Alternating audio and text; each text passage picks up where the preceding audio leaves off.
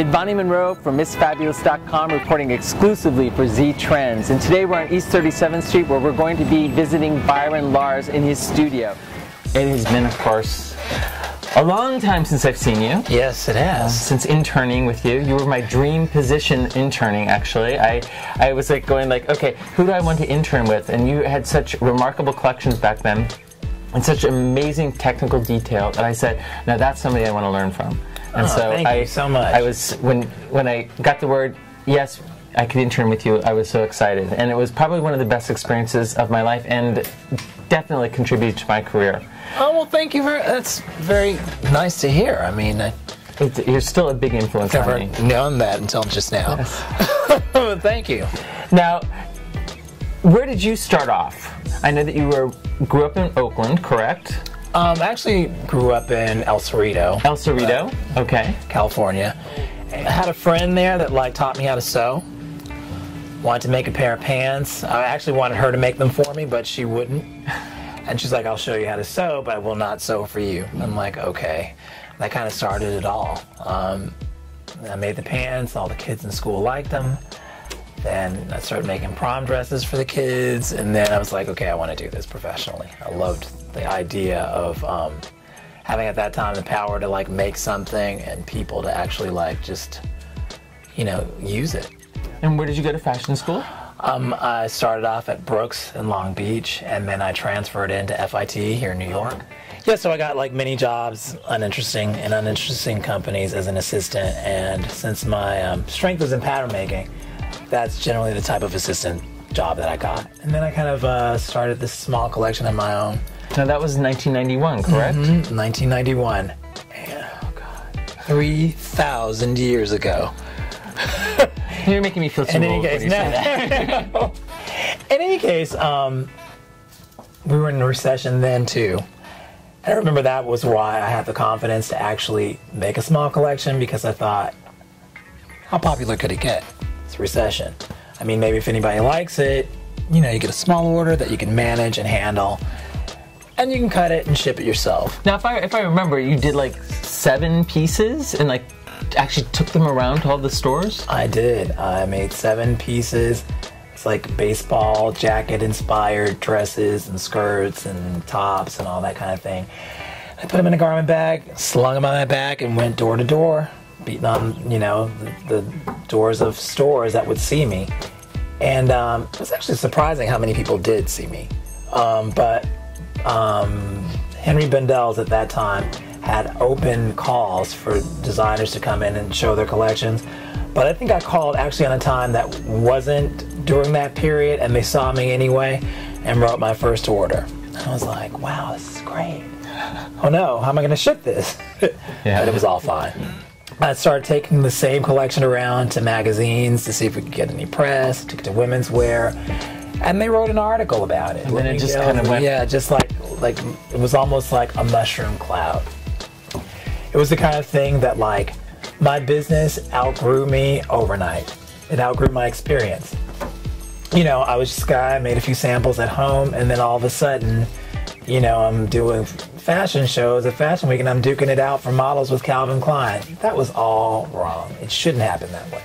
You know? Well, but, uh, but I have to say, maybe it was a little bit too fast. It was way too fast. But but I have to say that you had some of the most inspiring shows during that whole period, and it, it was it was it was evident why you were getting the attention. Oh well, well, you know that's that's kind, and I'm, I'm really grateful for the experience of that. But I just remember um, it was all really overwhelming too. You know, it just happened so fast that, and I understand the dynamic of that. Fashion, we need something new all Yeah. the time. And even though it's just like a bud and it hasn't like blossomed yet, it's just like you're so excited about it blossoming that like, you know, sometimes you can you know, clip it and put it in the vase before it's mature. So I took a step back and thought, you know, what is it about this job that you really love? Because even though the shows were great and everything, it wasn't that. I understand. And it wasn't it wasn't all the accolades and like all the parties and all that. You know, in fact, I didn't like any of that much at all. You know, I could do my job and everything, but it's like that wasn't really what what drove, you know, my passion for this. I really liked, you know, making clothes. I liked draping things. I liked, you know, searching for fabrics. I liked, you know, if I got had a great collar on a dress form, that could make my whole day. I mean, it was really that simple. So I really wanted to get back to something that was that basic about this. After that initial big period, you went through a lot of different transitions. Um, probably your most recognizable contribution during that period, which people really recognize you by, was your limited edition Barbies.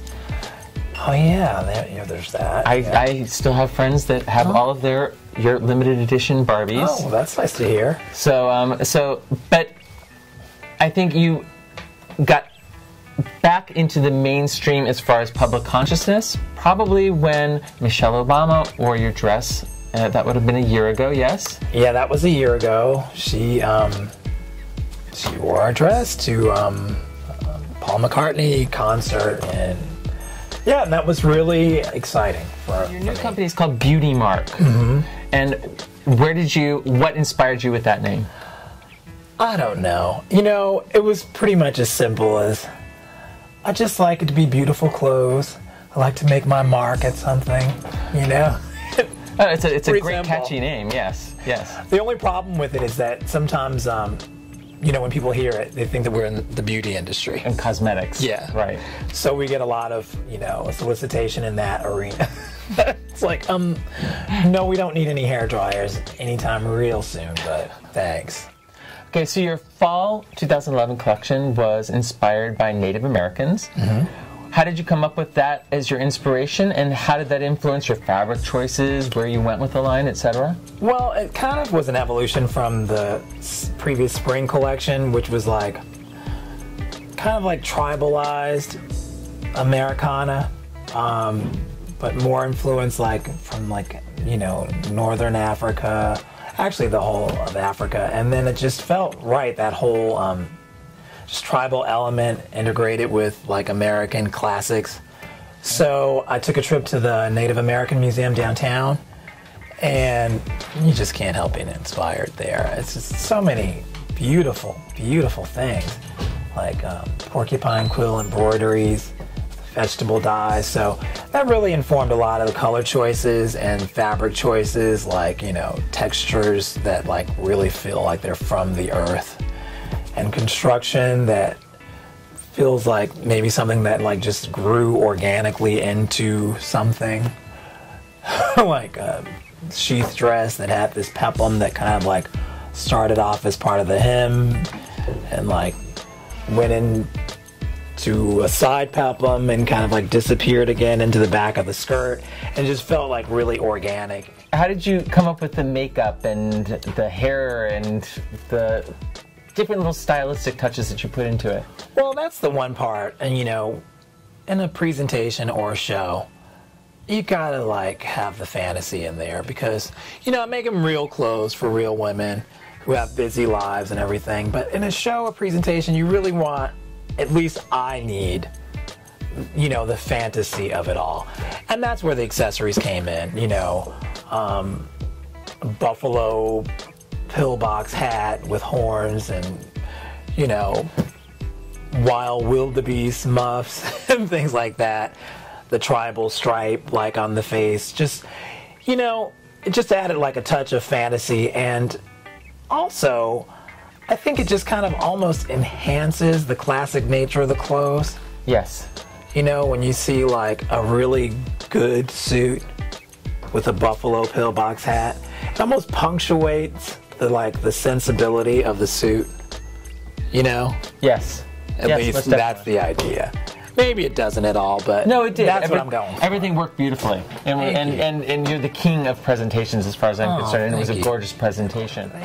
Well, it's been great seeing you again. It's great seeing you Thank too. Thank you for taking the time to be with us, Thank you so much for taking the time to come down and see me. and I look forward to seeing you in September. Awesome. Great. All Thanks. right. Thank you.